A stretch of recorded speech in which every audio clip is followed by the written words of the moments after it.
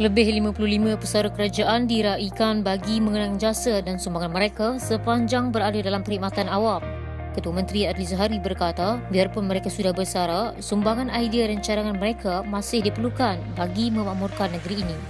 Kita tahu bahawa input daripada pesara adalah suatu input yang cukup besar dan memanglah kita di peringkat kerajaan negeri akan mencari ruang uh, melalui NGO kita boleh uh, bertemu dengan mereka dan meminta pandangan pandangan semasa kerana dasar-dasar kerajaan negeri ini adalah uh, dasar-dasar yang kita laksanakan uh, berdasarkan input daripada rakyat juga dan pesara adalah sebahagian daripada uh, proses yang kita perlukan pandangan dan pengalaman mereka.